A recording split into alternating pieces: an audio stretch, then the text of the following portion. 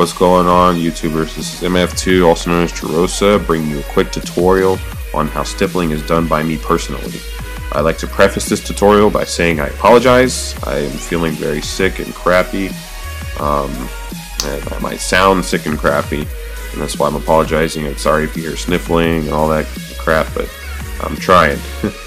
Alright, so um, the first materials you will need is a, a pencil, uh, for marking the areas that you would like to stipple, a uh, soldering iron for the actual act of stippling, uh, your polymer frame pistol, the thing you will be stippling, and uh, a uh, Dremel if you want to do the other uh, modifications that I'm doing in this video. Um, I, you know, this isn't a tutorial on these modifications, but I did include them in there just in case somebody did want to see what I'm doing. Um, I like to, you know, just find interesting things that people do. And you know, I may not adopt it, but it's uh, interesting. Um, and maybe you would uh, find this interesting, and maybe like it, and maybe you will adopt it, do it to your own pistol.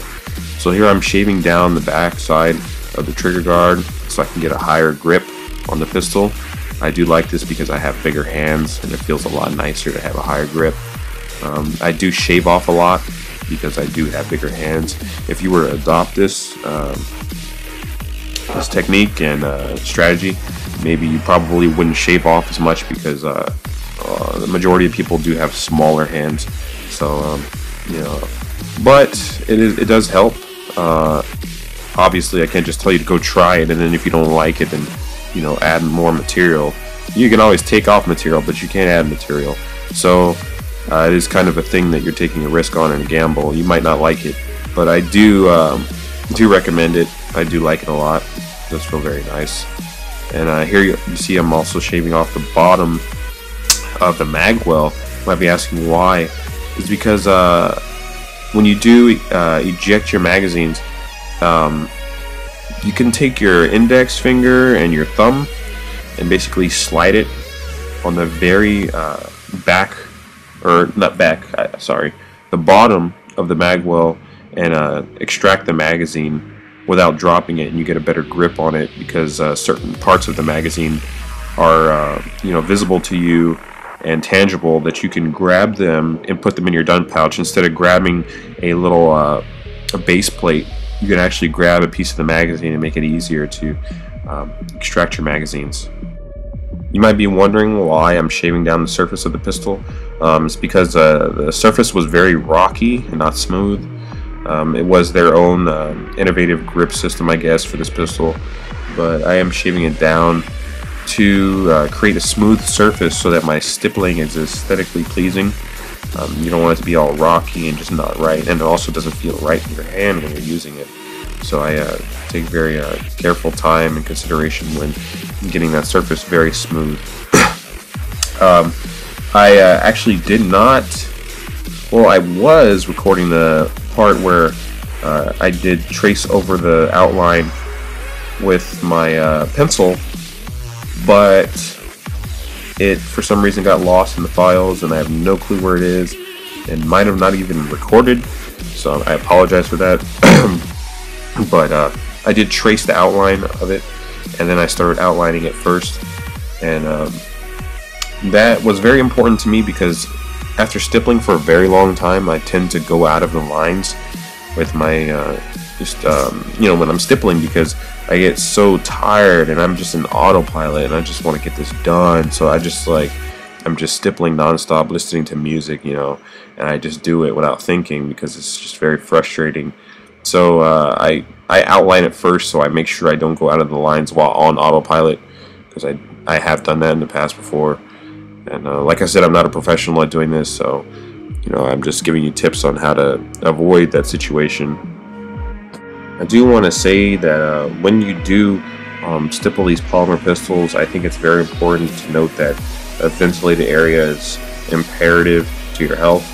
Uh, it's uh, very toxic to burn these plastics because they do um, have a little smoke when you're burning them, and uh, I have accidentally breathed it in before, and it does give you a burning sensation in your lungs, which is obvious to tell that it is toxic, and I don't doubt that it is.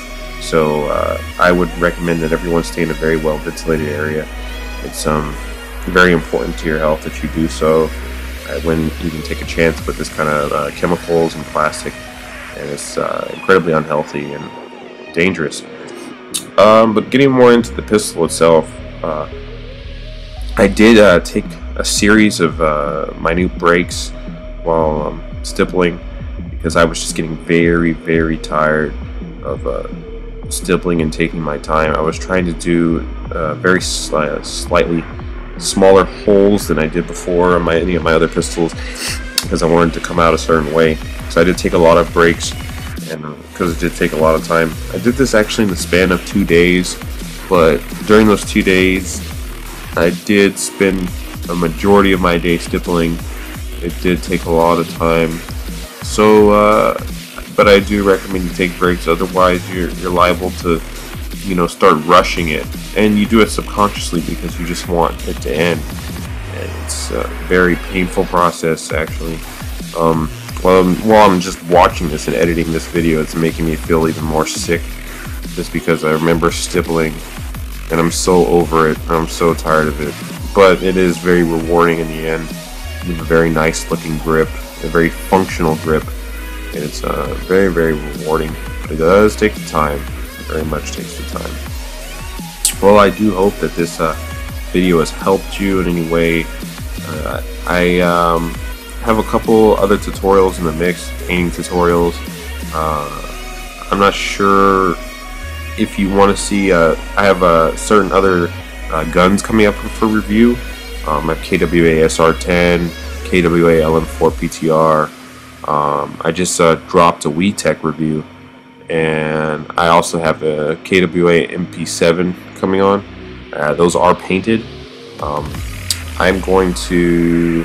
I want to ask you uh, once I do post those videos if you would like to see a painting tutorial on those respective paint jobs. So um, if you leave in the comments what you think about that, once I do drop those videos, that would be a great help. Also, uh, I would like feedback from this video if you didn't like what you saw or you know you would much prefer a video to be in a certain way I would very much enjoy that feedback uh, anything that I can help and do in the comments just uh, state it or private message me. Thank you for watching. Favorite like comment subscribe. This is MF2 signing off